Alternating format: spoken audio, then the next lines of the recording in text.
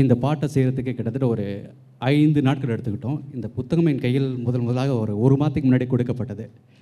இந்த கவிதைகளில் எந்த மாற்றமும் இல்லாமல் கவிதையை பாடலாக இருக்கிறது ஒரு பெரிய கலை. அதை கற்றுத்தந்த எனது ஆசிரியர்களுக்கும் இவங்க எனக்கு வந்து உண்மையிலேயே ஒரு டீச்சர் ஒரு பதினெட்டு வருஷமாக எனக்கு தெரியும். என் டீச்சர் அன்றைக்கி வந்து மேடையில் காண்டாக்ட் பண்ணது ஒரு பெரிய விஷயம். நன்றி இருக்கும் அனைவருக்கும் நன்றி. இது இன்னொரு பாட்டு இருக்குது அது வந்து இளையர்களுக்கு ஏற்ற பாட்டு. பிறகு உங்களுக்கு அந்த பாடலை பாடி காமிக்கிறேன். நன்றி சொப்னா. மீண்டும் சந்திப்போம். அற்புதமாக இந்த பாடலை பாடிய குணா குணா அவர்களுக்கும் ஸ்வப்னா ஸ்ரீ ஆனந்த் அவர்களுக்கும் எங்களுடைய மனமார்ந்த நன்றி. இனிமேல் சிங்கப்பூரை பற்றிய பாடல்கள் தமிழகத்திலும் நீங்கள் கேட்கக்கூடிய வாய்ப்பு இருக்கிறது. அந்த அளவிற்கு ஒளிவெட்டுக்கள் பிரபலமாகி சிங்கப்பூர் பாடல்களை தமிழகத்திலும் நீங்கள் கேட்கலாம். அந்த அளவிற்கு பாடலை அமைத்து பாடிய பாடகர்களுக்கும் இசையமைப்பாளருக்கும் நன்றி. அடுத்த அங்கம். தலைமை உரையாற்ற தமிழ் வள்ளல் வருகிறார். திராவிட தாக்கம் நிறைந்த இவர் மொழியாலும் பேச்சாலும் தமிழக மேடைகளால் கவரப்பட்டவர். நல்ல பேச்சாளர்களையும் எழுத்தாளர்களையும் ஊக்குவிக்கும் இவர். தன் தமிழ் பணிக்காகவும் சமூக பணிக்காகவும் பல விருதுகள் பெற்றவர். சிறந்த தொழில் அதிபராகவும் தமிழ் ஆர்வலராகவும் உள்ள ஜோஸ்கோ பயண நிறுவன உரிமையாளர் திரு போபராஜ் என்ற நாகை தங்கராஜ் அவர்களை தலைமையுரை ஆற்ற வருமாறு அன்போடு அழைக்கிறேன். அவருக்கு சிறப்பு விருந்தினர் டாக்டர் சந்துரு அவர்கள் பொன்னாடை மாலை அணிவித்து நினைவு பரிசு வழங்கி சிறப்பிப்பார்கள்.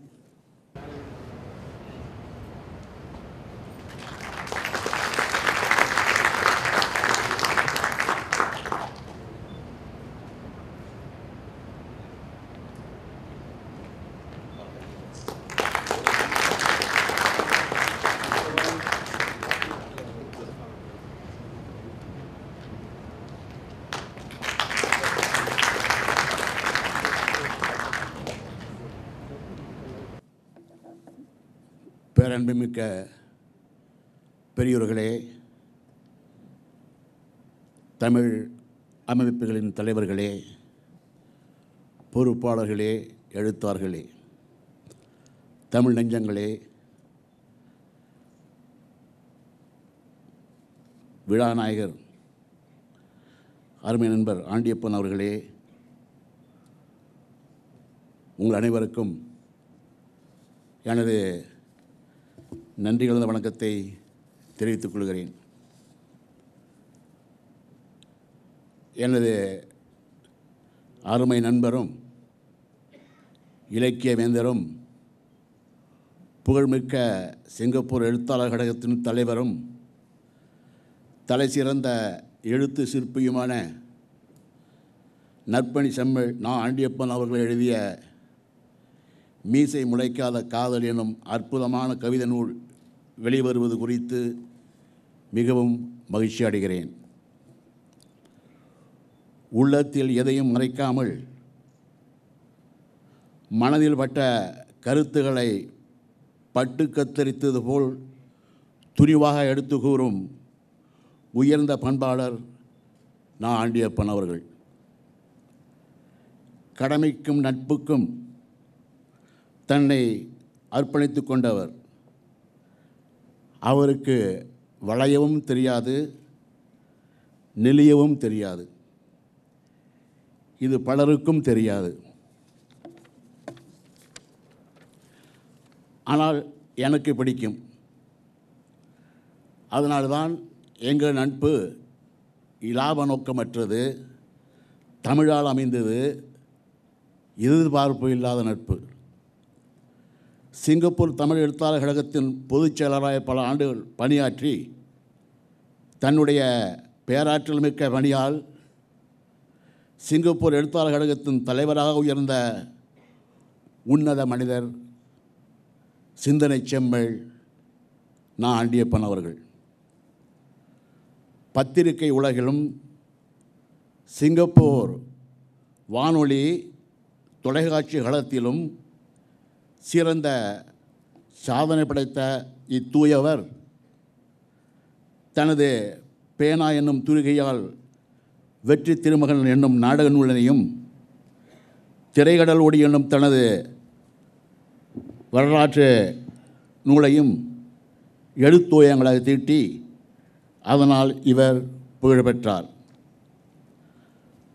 அவன் என்னும் வார்த்தையை புகழ்வாய்ந்த எழுத்தாளர் ஜெயகாந்தன் பயன்படுத்தி எழுத்துத்துறையில் வெற்றி பெற்றதைப் போல திரைக்கடலோடி எனும் தன் சுயசரிதை நூலில் அவன் என்ற வார்த்தையை நூல் முழுவதும் தவிடவிட்டு பெரு வெற்றி பெற்றவர் நா. ஆண்டியப்பன் எனலாம்.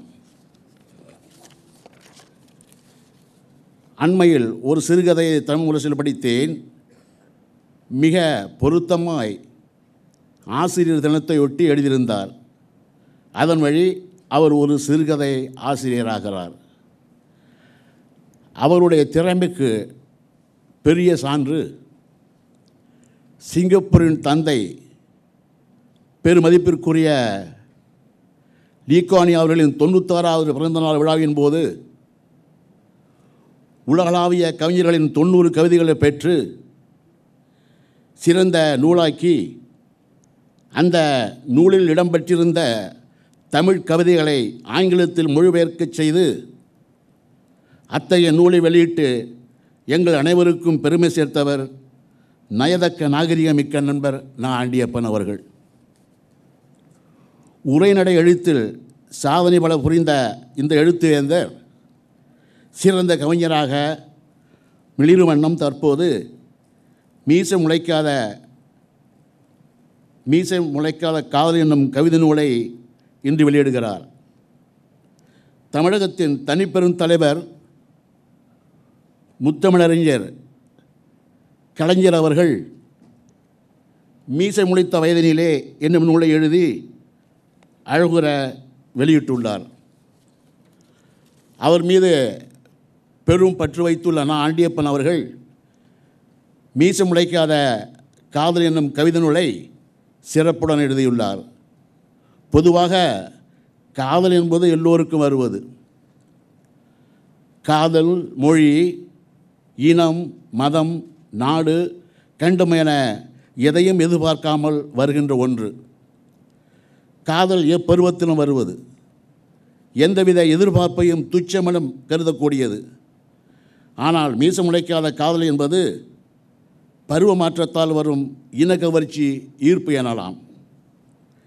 எதையும் புதுமையாக கூறும் எழுத்துலக ஏந்தல் நான் ஆண்டியப்பன் இந்த நூலில் கவித்துவமிக்க எண்ணங்களின் வார்ப்புகளை அனைவரும் விரும்பும் வண்ணம் எழுதி நம்முடைய நெஞ்சங்களை கவர்ந்து உள்ளார். இந்த நூல் தமிழ்தாயின் வைரமனை கழித்திற்கு ஒளி சேர்க்கும் முத்தரமாக திகழும் என்று நம்புகிறேன். தமிழ் இலக்கிய உலகிற்கு கிடைத்திட்ட புதிய வரவான அந்த நூலை வரவேற்கிறேன் வரவேற்போம். நண்பர் ஆண்டியப்பன் அவர்கள் இந்த நூல்களை பள்ளிகளுக்கும் கல்லூரிகளுக்கும் வழங்க திட்டமிட்டு இந்த நிகழ்ச்சியை நடத்துகிறார். காரணம் மாணவர்கள் மாணவர்கள் படிக்க வேண்டும் என்பது அவருடைய நோக்கம். ஆசை. அது நல்ல ஆசை.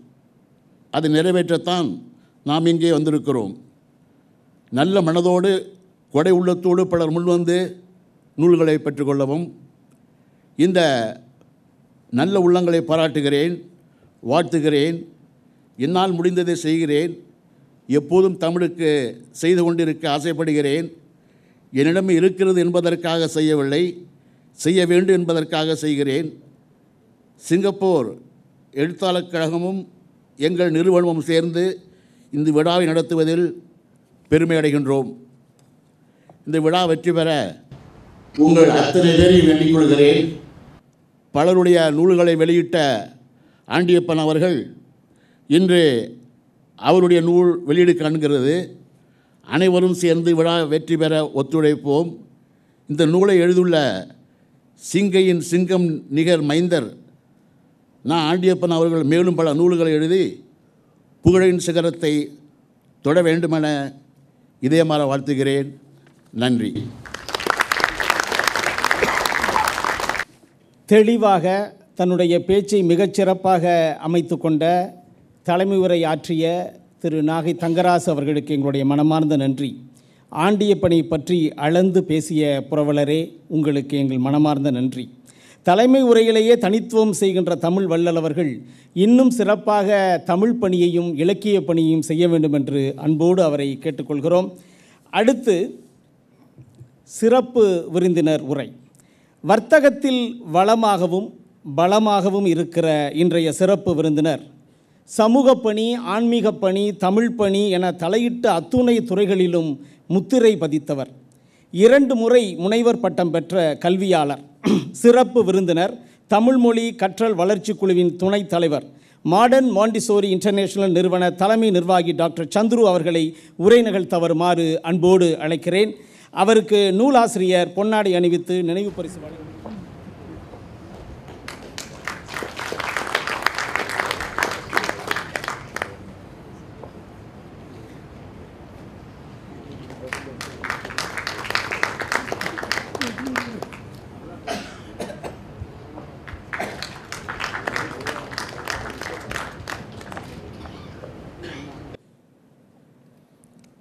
வணக்கம் பெரிய கூட்டத்தை எதிர்பார்த்தேன். இருந்தாலும் அங்கே எஃப் ஒன் நடக்குது. ஸோ அதனால் என்னவோ தெரியல. கூட்டம் நிறையாமல் இருக்குது. இருந்தாலும் வந்த கூட்டம் வந்து நிச்சயம் திரு ஆண்டியப்பனுக்கு அங்கீகாரம் செலுத்துகிற மாதிரி ஒரு பெரும் கூட்டமாக தான் வந்திருக்கு. வணக்கம் உங்களுக்கு அனைவருக்கும். அன்பு வணக்கம். இந்த மேடையில் இந்த அரங்கத்தில் பல பெரும் கவிஞர்கள் அமர்ந்திருக்காங்க. நண்பர்கள் இருக்காங்க. சமூக தலைவர் இருக்காங்க. அனைவருக்கும் வணக்கம். உண்மையை சொல்ல போனால் நான் கவிஞன் கிடையாது. ஆனால் ஒரு ரசிகன். ரசிக்கிறதுக்கு ஒரு ஒரு ஒரு ஒரு தன்மை வேணும். ஒரு ஒரு ஒரு உணர்வு வேணும்.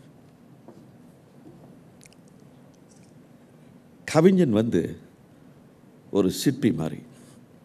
ஒரு நல்ல சிற்பி இருந்து பாருங்கள் அவனுக்கு தேவை வந்து ஒரு உளி ஒரு கல் நல்ல சிற்பி அதை ரொம்ப அழகான சிலையாக மாற்றிடுறான் அதே மாதிரி ஒரு கவிஞனுக்கு தேவை வந்து பேனா கற்பனை ஒரு நல்ல ஒரு சூழ்நிலை இருந்துச்சுன்னா ரொம்ப அழகான கவிதைகளை எழுதிடுறான் எனக்கு வந்து நான் சொன்ன மாதிரி நான் பெரிய கவிஞன் கிடையாது. ரொம்ப கவிதைகளை நான் படித்தது கிடையாது. சினிமா பாடல்கள் கேட்குறது வழக்கம். ஏன்னா சினிமா பாடல்களாக நான் அந்த இசை மூலம் நமக்கு இதயத்தை ரொம்ப தொட்டுருது. எனக்கு தெரிஞ்ச ஒரு ரெண்டு கவிஞருடைய ஒரு ரெண்டு கவிதைகளை நான் ஏதோ ஞாபகத்துக்கு வந்துச்சுன்னா நான் சொல்ல விரும்புகிறேன். அதில் ஒரு கவிதை வந்து ஒரு கவிஞன் சொல்கிறான். இது வந்து ஒரு ஒரு ஒரு ஒரு ஒரு பெண்ணை பற்றி. தயவுசெய்து என்னை வித்தியாசமாக நினச்சிக்காதீங்க. அதெல்லாம் கவிதை நயத்தோடு நம்ம பார்க்க வேண்டியதாக இருக்குது. அதாவது ஒரு ஒரு பெண் வந்து அவன் ஒரு பெண் வந்து அவன் அருகில் வந்து வந்துட்டு நின்றுட்டு போகிறா. அதை ரொம்ப அழகாக கவிஞன் சொல்கிறான். ஏற்றி வைத்த தீபம் ஒன்று என்னருகில் வந்து நின்று. பார்த்து நின்றது என்னதோ பின் பாராமல் போனது என்னவோ. ரொம்ப அழகா. அப்புறம் பாருங்க இன்னொரு கவிஞன் வந்து இந்த பிரம்மன் கூட மடல் எழுதுறான். பிரம்மன் கிட்ட கேள்வி கேட்குறான். ஒரு கவிஞன் பாருங்க கேட்குறான் அழகே பிரம்மனிடம் மனு கொடுக்க போயிருந்தேன் நீ என் மனைவியாக வேண்டுமென்று. அதுக்கு ஆண்டவன் சொல்கிறான்னா ஆண்டு பல காத்திருக்க வேண்டுமென்று அவன் சொன்னான். அதுக்கு இவன் சொல்கிறான் ஆயுள் வரை காத்திருப்பேன் என்று நான் சொன்னேன் என்று. எவ்வளோ அழகாக இருக்கு பாருங்க இந்த கவிதை. இதை வந்து என் மனைவிகிட்ட படித்து காமிக்கலான்னா அவளுக்கு தமிழ் தெரியாது. அதே நேரத்தில் நம்ம ஆங்கிலத்தில் சொல்லோம்னா அவளுக்கும் அது அந்த சுவை போயிடும் ஸோ பார்த்தீங்கன்னா இந்த கவிதை. இன்னொரு கவிஞன் சொல்கிறான் பாருங்க இந்த இந்த பிரம்மன் பிரம்மன் கூட இது பண்ணும்போது பிரம்மனை பற்றி பிரம்மனை இன்ஃபேக்ட் திட்டுற மாதிரி ஒரு ஒரு கவிதை. தயவுசெய்து என்னை வித்தியாசம் நினைக்காதீங்க இது கவிதை தான்.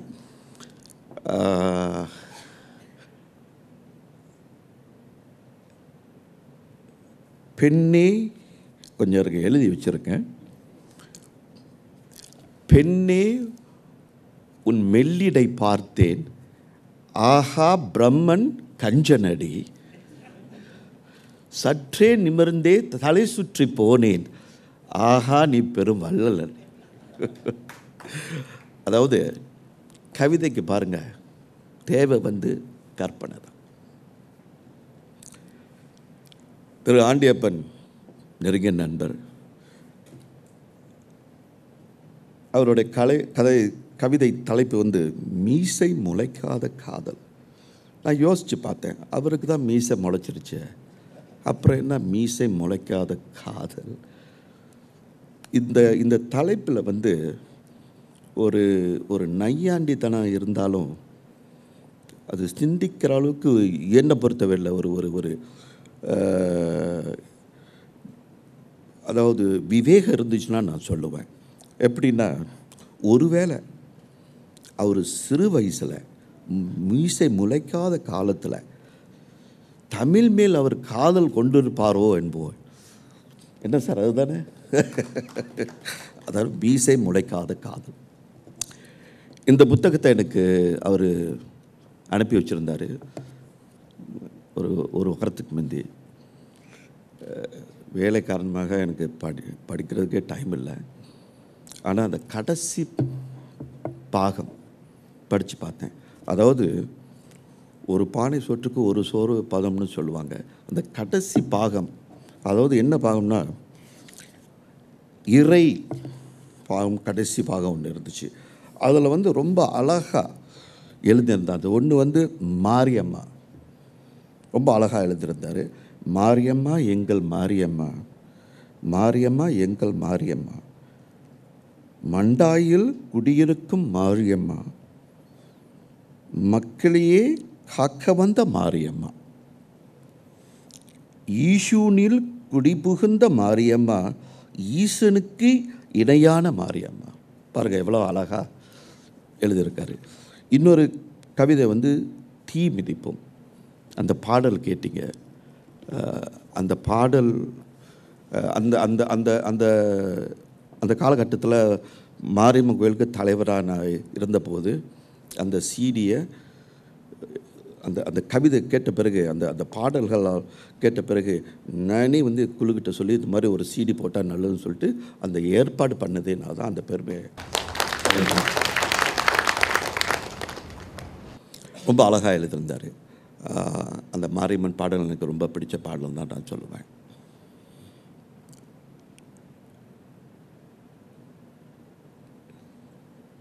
நல்ல நண்பர் புத்தகம் நல்லா எழுதியிருக்காரு கவிதை நல்லா எழுதியிருக்காரு.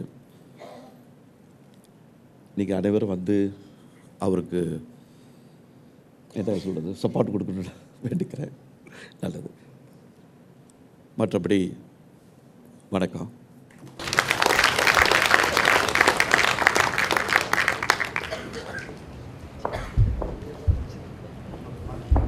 டாக்டர் சந்துரு அவர்கள் நல்ல ரசிகர் என்பது நமக்கு எல்லோருக்கும் தெரியும்.